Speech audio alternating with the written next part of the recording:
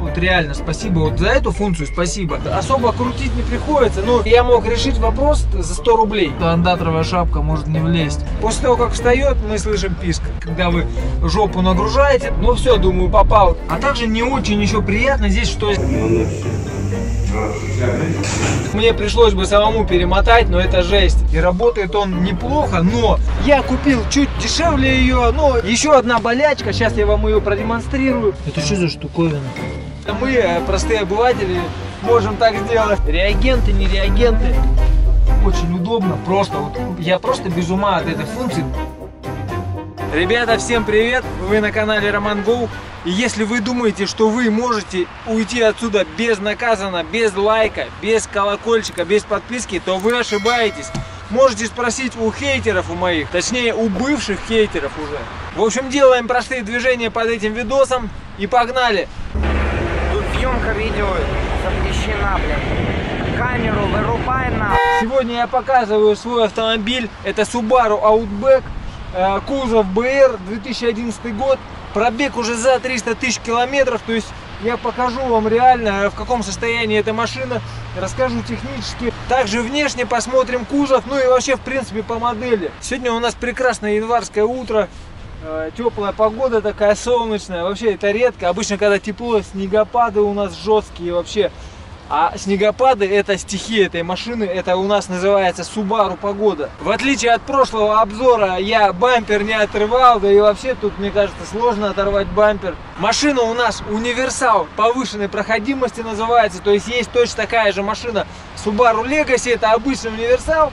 Тут, значит, поставили колеса побольше, ну, примерно размер, как и на кроссовере. Э, там типа на CRV 225 на 60, но еще 65 сюда залазят. 17 диаметр. Э, и, я так понимаю, повысили клиренс там, я не знаю, ну, конечно, не проставками, как-то заводскими, так сказать, методами. Это мы, э, простые обыватели, можем так сделать, конечно, побольше проставки и все, уже у нас джип. Но по итогу, что мы получаем? Клиренс достаточно большой, здесь в районе двадцатки, по паспорту прям идет. То есть это больше, чем на той же CRV, э, такого же года, допустим, да, или вот даже 14 -го года у меня была CRV, у нее, по-моему, вообще 175 клиренс. Ну, то есть универсал универсалом, но он реально повышенной проходимости. Тачка уверенно себя на дороге чувствует. Мотор здесь 2,5 литра.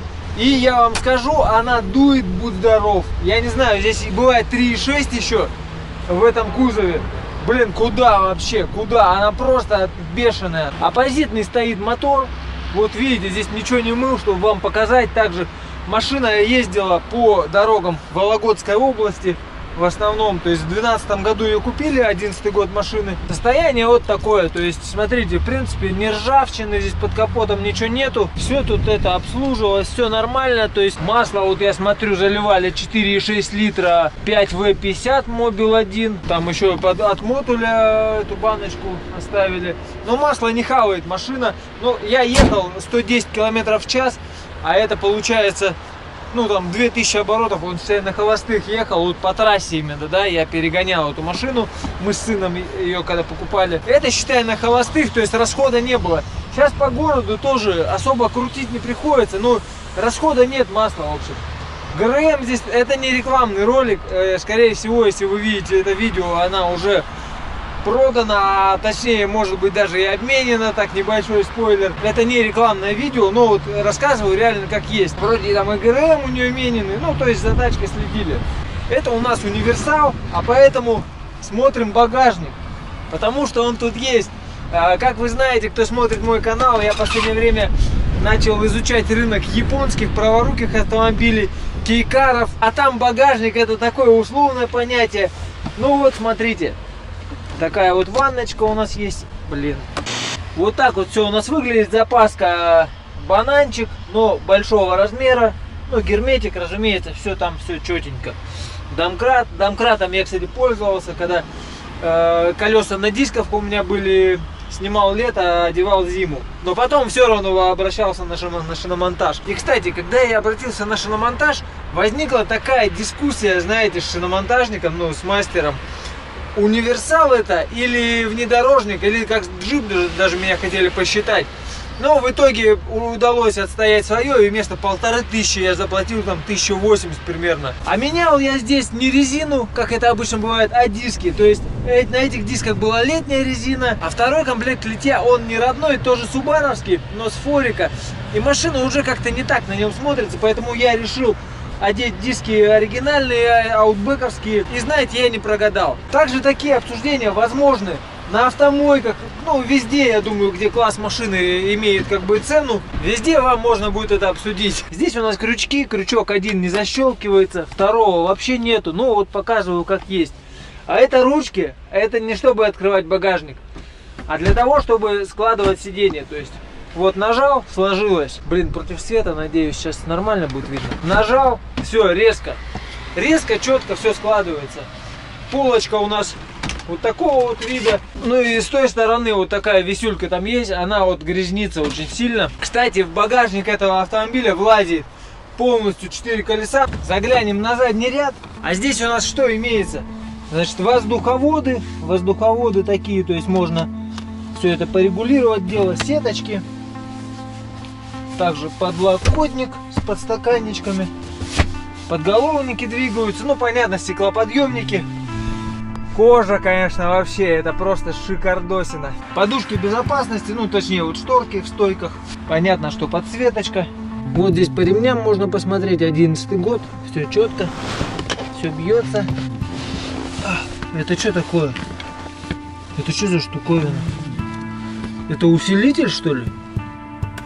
Блин, а я не знаю даже подключен он или нет. Но мультимедиа система, сейчас я вам продемонстрирую, она здесь тоже очень и очень. Водительское сиденье у нас с электроприводом, назад-вперед, вверх-вниз. Также передняя часть подушки вверх-вниз. Это наклон спинки и это поясничный валик. То есть достаточно лухури, но это еще не все. Есть у нас память сидений, то есть нажимаем, и все, сиденье само вот едет в то положение, э, в которое запрограммировали. После того, как встает, мы слышим писк. Кстати, табличка, смотрите, она даже не то, что на английском, на японском, но еще есть арабская вязь. Прикиньте, вот бы на русском еще было. Также на водительской двери стеклоподъемники, все понятно, это один авто. Здесь у нас отключается курсовая устойчивость, а значит она есть. Это у нас электронный ручник. Смотрите, как он работает. Нажимаем на кнопку.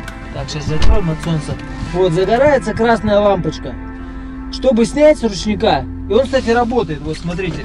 Реально, вот, вот я жму газ, машина, она аж проседает, смотрите.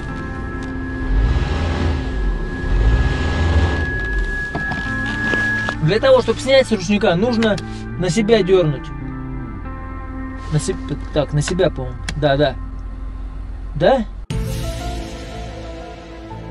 А, не, подождите, ну-ка, надо, наверное, на D поставить. Да, вот. Там слышно, как этот электропривод, он убирает ручник. Дальше что у нас тут есть? Зеркала складываются. Одно, второе. Приятная опция. Ну, понятно, регулировка. Это яркость, я так понимаю, приборной панели. Блин, вот этой кнопкой ни разу не пользовался. Это помощь при подъеме. То есть вот, когда включаем, загорается зеленая лампочка на приборной панели. И вам машина помогает. И, то есть прибегает японец какой-то, когда вы начинаете трогаться в горку, и вас толкает сзади. То есть машину вы купили в 2011-2012 году, а заботиться о вас продолжают практически весь срок эксплуатации, пока вот эта система она не навернется. Я пьяная, очень сильно. Но она навернется не скоро, потому что, посмотрите, ошибок тут нету, никаких ни чеки, ни меки, ничего не горит. Посмотрите внимательно на приборное табло, вот смотрите, это расходомер. Это не температура двигателя, это не масло, давление, ни что иное. Это как расходомер. То есть здесь машина показывает э, мгновенный расход топлива. Когда едешь э, там по трассе, расход где-то 7-8 литров. Этот расходомер примерно на середине, да, может чуть ниже. Когда валишь или вот стоишь, на данный момент мы стоим просто в заглушенной машине, он показывает, конечно, просто по максбету, да, максималка. Дальше у нас идет тахометр до 8000 оборотов. И здесь на солнышке видно, кстати, а, какие лампочки здесь могут э, загораться. То есть отключение, вот видите, курсовой устойчивости. АВД, это когда ошибка по этому, по полному приводу. AT Oil Temp. Это температура масла, видимо, в коробке. Ну, наш любимый Джеки Чан, аккумулятор, масленка. Это открытые двери. Кстати, машина показывает, какая именно дверь открыта. То есть, вот видите, слева. Дальше по лампочкам подушки, корректор фар, а он здесь электронный. То есть электронный корректор фар, когда вы жопу нагружаете, допустим, у вас фары вверх задираются, да, а здесь электронный корректор, он автоматически опускает вниз. Дальше ручник, это что-то паркинг, зачеркнутая ошибка, видимо, по ручнику. Так, еще одна масленка, там одна была АБС. Это, видимо, электроусилитель руля, а здесь электрический усилитель руля стоит. И работает он неплохо, но сразу же подойдем к болячке автомобиля, к первой, о которой я вам расскажу. А это именно электрорейка, она здесь стучит. Много копий об этом сломано, но в принципе она ездить не мешает, на скорость не влияет. На машине вы не встанете, насколько я изучил этот вопрос. Но проблема имеет место быть, и все люди, которые ищут этого аутбека бэушного, они сразу спрашивают, стучит ли рейка. Если стучит, они вот так вот, ай-яй-яй, их это очень смущает, но они знают, что есть такая болячка, что у всех она стучит, и все равно они негодуют, когда узнают об этом. Кстати, здесь, знаете, на холодную бывает что-то постукивает, потом перестает звук, вот реально. Иногда не постукивает, ну, такого, что что-то бренчало бы, стучало жестко, прям в руль отдавало, такого нет. Ребята, обзор будет не короткий сразу, вот просто э, я еще даже не начал, а видите, сколько хронометража прошло, потому что здесь кнопок просто еще уйма, здесь как в самолете, даже на руле, посмотрите. Во-первых, заглянем за руль, это лепестки. То есть можно переключать лепестками передачи. Конечно, никто этого никогда не делает, это нахрен не нужно, но их ставят сюда. Даже в моей второй машине, которая у меня сейчас есть, это Honda N-Box, которая 0,66 объемом. В ней тоже есть лепестки, хондовцы туда почему-то их поставили. Но круто, круто. Понятно, это э, волуме, то есть э, громкость, это переключать треки, это мод. Мафон здесь стоит кошерный. Э, Android, тут и радио, и флешки, и все подряд. И курицу он режут, смотрите. Можно подключать телефон по Bluetooth. Это круиз-контроль, моя любимая опция. Причем загорается не лампочка, а вот здесь вот в мини-экранчике, что круиз включен.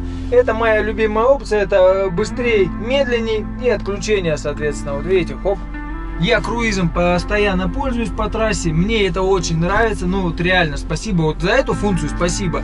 Лепестки вот эти, я не знаю, нужны они кому-то, нет, может быть, даже в 20 лет, если бы у меня были эти лепестки, я бы ими вряд ли, наверное, пользовался. А за круиз просто Лайсевича ставлю, и чтобы вы везде, и в кейкары, не надо говорить, что на кейкары не нужен круиз, нужен он везде. Как говорится, едем дальше, здесь у нас табло вот такое, а расход, видите, Здесь у нас еще мини-экранчик есть. А, минус один это температура воздуха за бортом, 10 литров это средний расход топлива. Он не скидывается, когда заправляетесь, то есть когда скинули, тогда он и скинулся. То есть на некоторых машинах там каждый день он скидывается, как на Nissan Days Rux, например. На некоторых, как э, при заправке, когда больше 10 литров заправляетесь, он скидывается. Здесь сами управляете. Ну, у меня, вы как вы понимаете, это я по трассе проехал, да, там сколько-то тысяч, там пару-тройку тысяч километров. И сейчас по городу, ну, средний расход трасса город 10 литров. А так по трассе, ну, э, кто не смотрел, посмотрите обязательно перегон этой машины. В районе 8 литров, иногда 7,5, иногда чуть больше, меньше, но вот э, в этом районе. Что у нас тут переключается? Ну, вот время есть 4.08, не настроены часы. Это сколько можно проехать на этом топливе, вот 100 километров, это опять расход. Это мгновенный, видимо, расход, тоже расходомер. Но заморочились тоже субаровцы. Почему они сделали расходомер? Они целую эту отвели. То есть здесь температура двигателя, кстати, она здесь не показывается. То есть это привычная стрелка. По идее, Subaru, раллийная машина, кроссовая. Ну, блин, это должно быть просто на уровне вот этого а, Subaru, да, что ты едешь, что у тебя все здесь, все важное есть. А температура двигателя, ну это важная такая часть. И, то есть вы узнаете о том, что кипите, уже когда красная лампочка загорится, да, уже когда там э, все будет зашкаливать. То есть как она поползет вверх, эта стрелка, вы не увидите.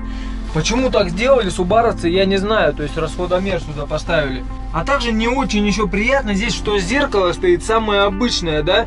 такое прям как, блин, я не знаю, в Жигулях. А, не, оно не самое обычное, то есть смотрите, здесь есть эта переключалка, то есть на ночной режим есть, но все равно, даже я говорю, в Nissan Days Rux у меня было автозатемняющееся, это вообще очень приятная опция такая. Лопаш здесь смененный, КМК, надеюсь, я не сильно ору, но все это с шелкографией, со всеми вот этими делами, то есть датчик э, дождя здесь есть. Здесь, короче, смотрите, выведено у меня под регистратор. Регистратор любезно прошлый хозяин забрал себе. Был, стоял антирадар, здесь тоже выведенный, вон проводочек еще торчит, я его отрезал, естественно, продам его на Авито, потому что машину у меня покупать не хотят быстро. Быстрым я бы его, он у меня два месяца здесь, по-моему, висел, э, есть пить не просил, но я его сейчас снял. Здесь у нас что, подочечник, весь салон застелен вот такими вот э, прикольными подстилочками, то есть чтобы ничего не бренчало, ничего не царапало. То есть все везде. Здесь тоже вот, ну это родная. Ладно, не будем прыгать с места на место. А, очечник понятно. Свет право-лево. Это при открытых дверях, чтобы открывался. Здесь у нас, э, я так понимаю, микрофон для вот этой связи присутствует. Заглядываем за руль и здесь видим заветная кнопочка. Управлять машиной очень удобно, просто вот я просто без ума от этой функции тоже, вот как круиз-контроль, очень нужная функция, вот этот запуск без ключа, доступ без ключа. Я не люблю на самом деле вот эти постоянно что-то лазить в карманы, там в сумке, это чик-чик доставать. Вот, ты подходишь к машине, у меня, мне везет последние машины, у меня все такие. У меня там от двух машин, да, вот здесь сейчас ключи лежат. И все, я даже не парюсь, я никогда их не достаю. Просто подходишь к машине, нажимаешь вот эту кнопочку. Блин, где ключ? Нажимаешь вот эту кнопочку, все, она, за, она у тебя закрытая, да? А, и кстати, открывается машина здесь не кнопкой. Здесь определенный есть сенсор, то есть, вот смотрите, подносишь когда руку, все, она сама открывается. То есть здесь даже кнопку не надо открывать, но это тоже никому не нужная функция. Хотя, вот смотрите, подсветка, ну, многие любят вот это дело, но я в эти зеркала никогда не смотрюсь и ничего туда не ложу даже никогда. Здесь у нас подогрев, то есть low, low high, то есть э, посильнее, поменьше, поменьше греть. Это у нас под какие-то мелочи. Здесь, возможно, какая-то кнопка, я не знаю, бывает, если у кого-то есть максимальный Outback Какая-то кнопка здесь бывает или нет, я не знаю. Здесь подстаканник, прорезиненная подошва. Извиняюсь, что не кристальная чистота у меня здесь. Убирается перегородка, все закрывается. Это вот большой под булку хлеба такой бардачок. Смотрим, что здесь есть. Розетка есть одна, в дополнение к той, которая вот здесь находится. Вот здесь заглушка у меня вставлена. Также есть USB и также есть AUX, видите? Все, что нужно для счастья современному человеку. USB и AUX. Но также в этой машине можно показывать фокусы. А именно здесь двойной, видите, две кнопочки. Большую кнопочку это большой подлокотник открывается. Маленькую кнопочку это маленький подлокотник открывается. Здесь какие-то книжки поместятся, какие-то бумажки. Все это вот так вот закрывается. Такие машины сейчас стоят на вторичном рынке в районе там от вот по Новосибу миллион, миллион триста. Цены взлетели вообще в небеса. Я купил чуть дешевле ее, но если вы смотрели покупку, если вы следили за моим каналом, если вы крутой чувак, ставите лайк, всегда мне подписывайтесь, жмете колокольчик, то вы все это знаете, что и как у нас получилось. Еще одна болячка, сейчас я вам ее продемонстрирую. А точнее даже не еще одна, а вторая и последняя, наверное, болячка этой машины. Это здесь вот у нее, у них вот здесь появляются трещины. Да, у меня тоже, в принципе, она есть. Вот здесь появляются трещины. Здесь вот видите рыжики. Машина у меня вся облитая, кстати, кузов весь облитый. Но здесь ничего не делано. То есть э, заводская точечная сварка. Присутствует герметик заводской. Здесь ситуация чуть получше, но, в общем, знаете, что такая болячка есть на этих машинах, и если вы видите там трещины, то это не значит, что она там перевертыш, еще что-то. Ну, вот почему-то вот так случается на них. На каких-то чуть меньше, на каких-то чуть больше, но практически везде все это есть. Вот камера заднего вида. В данной машине она подключена вот к этому Android замечательному устройству. И вот так вот все показывается. Но руль на руль не реагирует. Хотя, в принципе, здесь электроусилитель. Возможно, можно было бы подключить. Мафон, в принципе, не глючный. Конечно, какое-то время на запуск, видите, Android уходит. Но такого, что глючный, знаете, вот на камере 40 вот эти такие есть магнитофоны, которые встроены, они хуже, они прям хуже родного, хоть там и экран, все красиво, но реально вот эти китайские мафоны на камере, это просто кал полный. Подключаю по Bluetooth сюда телефон, переключаются все треки на, на родными кнопками здесь, ну вообще удобно, удобно пользоваться, что сказать. Дальше идем. Основной у нас бардачок вот такого вида. Вот видите, сервисная книжка здесь э, до 200 с чем-то тысяч обслуживали на дилере, вот до 211 тысяч. Дальше уже э, в дружественном сервисе, как говорится. Здесь вот отдел, можно сюда что-то положить, можно сюда, сюда что-то положить. Еще одна флешка выведена. Тут вот такая вот букса, полное руководство Legacy Outback. Еще раз подтверждается, что это одинаковые машины. Посмотрим по подушкам безопасности. Вот здесь надписи нет airbag, но мне кажется здесь должна быть, но в задней и в средней стойке есть аэрбэги. Потом есть в сидушках аэрбэги, соответственно в руле и здесь. Это у нас это у нас уже 8 штук, да, аэрбэгов. Ну и если все-таки в стойках они есть, то это 10. Ну, короче, 8-10, вот так. Звук достаточно ну, достойный здесь, э, конечно, лучше, чем в Кейкаре, потому что здесь толще и тяжелее двери. В общем, все звучит это здесь классно. По минусам машины, вот реально, даже, даже я не знаю, но там по цене плюс-минус. Минус это, знаете, что типа это универсал, а стоит он как кроссовер, но по сути это и есть как кроссовер. Он и высокий, как кроссовер, и колеса здесь такие же большие. Но вот как бы универсал, низкая крыша получается. Возможно, кто-то, у кого-то андатровая шапка может не влезть. Вот это вот, вот он минус. Это я прямо сейчас э, в реальном времени с вами рассуждаю. Кстати, климат-контроль я не показал здесь. В машине достаточно жарко. Все это здесь регулируется кнопочками, тоже ничего не глючит. Все классно. Вот можно спасибо сказать. Двойной климат-контроль, то есть можно пассажиру потеплее выставить, если что. Бардачки на ключ не закрываются. Зеркала достаточно большие, ну, не маленькие. Вот на форике SG до рестайлинговой, которые там реально моллюски, такие как на импрезе, стоят зеркала маленькие. На рестайле уже поставили большие. Здесь такие же примерно по размеру, как на рестайлинговом форике. То есть нормально. Коробка, вариатор, то есть это первый кузов аутбека, на который поставят вариатор. Вообще никаких вопросов нет. Машина гребет всеми лапами, э, просто она метет. Вообще никаких вопросов к вариатору нету. Вот этими диапазонами я не пользовался, но сейчас поедем покатаемся. Может я их включу, покажу вам, что, как это происходит. И что мне нравится, вот черный салон, это очень практично. Кожаный, даже в ремонте, даже те же перекупчики, они меня поймут. Э, я не знаю, что самая дешевая в ремонте машина, вот салон, это черный кожный салон, которому очень легко подобрать материал, чтобы не выделялось, допустим, какой-то элемент, если нужно поменять вставочку. И потом даже видно ничего не будет. Никого ничего смущать, как говорится, не будет. Друзья, перед тем, как прокатиться, я вам по традиции, вы знаете, я всегда показываю, когда машины осматриваю, днище автомобиля. Сейчас я вам покажу, вот 10 лет машине, 10 лет она каталась. Вот по западному региону, не Москва-Питер, но западный регион все равно. Реагенты, не реагенты. Вот смотрите. И сегодня люди первый раз у меня смотрели эту машину, я ее продаю. Им не понравилось вот это. То есть, видите, то есть выхлопную трубу все вам покажу. Так, смотри, может.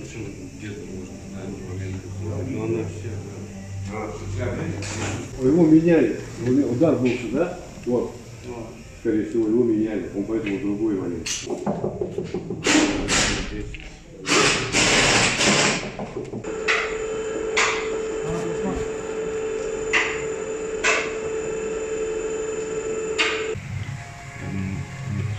Я тоже так Ладно, спасибо. Пускай. Что, по ржавчине не нравится, да? Нет,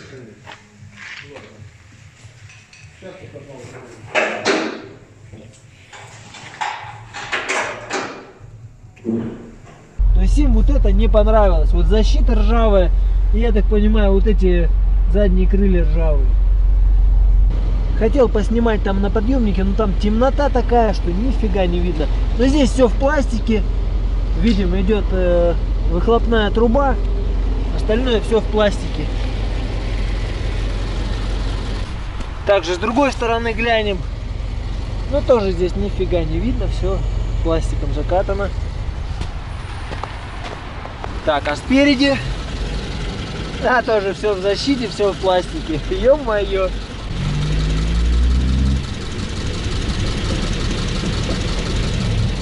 Ну так все равно в достойном состоянии, ничего оборванного нету особо. Только на заднем бампере.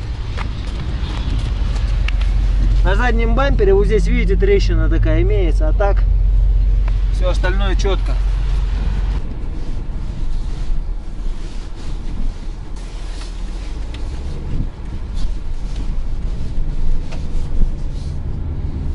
Через 600 метров. Скакать по нашим ямам одно удовольствие на этой машине, конечно, гораздо приятнее, чем на Кейкаре. Конечно, дороги в этом году, этой зимой в Новосибе оставили на зиму вообще просто ужасные. Ипподромка, наша главная скоростная магистраль, да, просто она в, плача- в плачевнейшем состоянии. Здесь тоже, все, здесь тоже все разбито. Даже на СТО не надо ездить, ходовку проверять. Вот прокатился просто по городу все сразу понятно стало. На дороге в этой тачке, конечно, чувствуешь превосходство. Превосходство, что ты можешь больше, чем большая часть машин. Она мало того, что быстро трогается, потому что мотор хороший, резвый, полный привод, так она еще и с высоким кли- клиренсом, сидишь как бы повыше. Ну и вообще, я не знаю, зимой многие начинают ездить очень медленно, там 40-30 км в час, и тебе хочется просто их всех перепрыгнуть. Если на кейкарчике ты такой едешь спокойно, на чили, на расслабоне, то тут ты едешь и знаешь, что, блин, ты можешь ехать реально быстрее. Тем более, кейкарчик у меня передний привод э, с липучкой, а здесь полный привод с шипами, да, и вот такие огромные колеса в два раза, наверное, больше. По поводу уважения на дорогах я особо такой статистики не веду, то есть что там пропускают, не пропускают, я в принципе на всех машинах, э, включая поворотник, потом кручу руль и все нормально получается в итоге. Места на дороге хватает всем. Да, вот смотрите, как действуют эти лепестки. Переключаем в М коробку передач. У нас появляется вот первая скорость. Все, машина, спе- ну точнее первый диапазон все-таки. Все, до 3000 крутим, хоп, вторая. То есть машина сама не переключается, вот третья. Я думаю, где-то она в максималке там, конечно, переключится. Четвертая. На айнбоксе у меня 7 диапазонов. Тут еще, блин, фиг где проверишь нормально. Свет фар, здесь ксенон стоит и туманки светят достаточно достойно. Хотя, честно сказать, конечно, на кейкарах вот эти современные фары, они чуть получше, наверное, светят. Я не знаю еще как светодиодные, у меня еще не было со светодиодными LED фары. Но вот эти ксенон э, на кейкарах чуть получше. Но здесь тоже отлично, не как слепой котенок. Ну и что характерно, здесь ты не слепишь встречку. Хочу рассказать еще про одну, ну, наверное, болячку. Не такую распространенную, но она здесь есть. Купал я такую машину несколько лет назад. Э, Покупал в Москве в районе 600 тысяч рублей. Вот цены-то были, да, ребята? Тоже 11 года, тоже черная на черной коже. А, Еле доехал с Москвы до... Такие дороги, конечно, иногда просто за голову хватаешь. Еле доехал на ней до своего гаража из Москвы, там, 3 с чем-то тысячи километров. Реально, машина уже, знаете, э, так двигалась, как будто на механике вот сцепление бросаешь, то есть э, начинала подзаглахивать как-то, ну, в общем, вообще нестабильно работать, что-то с карабасом не то. Начал гуглить, а, появилась ошибка, я считал ошибку, Надеюсь, я сейчас все это найду где-то в телефоне и вот здесь вот где-то я вам покажу. Ну все, думаю, попал. Звоню по таким неофициальным Subaru центрам, но я думаю, они собаку съели на этих машинах. Типа Subaru, ну что-то там, в общем, субаровские, да. И внимание, знаете, что мне говорят? Обратитесь, говорят, к официальному дилеру. Я вот это не, не ожидал, конечно, там услышать. Неужели там только колодки хорошо из масла матюль заливают? Не знаю, не знаю. Официалам я, конечно, звонить не стал, потому что, сами понимаете, да, я финансы люблю считать. Особенно если это свои финансы. Там есть э, соленоид, который э, выходит из строя, его нужно перематывать. То есть что-то там сгорает или что-то такое. В принципе, я мог решить вопрос за 100 рублей. Ну, представляете, если бы к официалам, да, поехал, что бы там было, коробка на Субару, на Outback, еще и вариатор. Просто вот так вот. Мог в районе 100 рублей решить, но мне пришлось бы самому перемотать, но это жесть. Там такая тонюсенькая проволочка, просто вообще как волосинка. Я бы реально не смог. Отдал я тысячу рублей ребятам, которые занимаются профессионально перемоткой электродвигателей. Вместе с проволочкой все у них было. То есть, в принципе, ребят, знаете, что такая проблема она существует. В принципе, достаточно легко решается. Какой-то соленоид что-то начинает тупить, и начинает плохо трогаться, плохо ехать машина. Не забывайте гуглить, в гугле много есть, на каких-то форумах. Замечательный сайт Drive 2 есть, на котором очень часто, э, вот прям очень часто, там именно гуглятся решения, лайфхаки всякие для нас, для простых автолюбителей. Потом я на машине на этой достаточно долго катался, ну как долго там, по перекупским меркам, наверное, не знаю, пару месяцев точно катался на ней. А, или нет, почти год, наверное, я на нем катался, что-то да, долго я на нем почему-то ездил, я не знаю почему. Вот даже по этой машине я смотрю, в городе они продаются.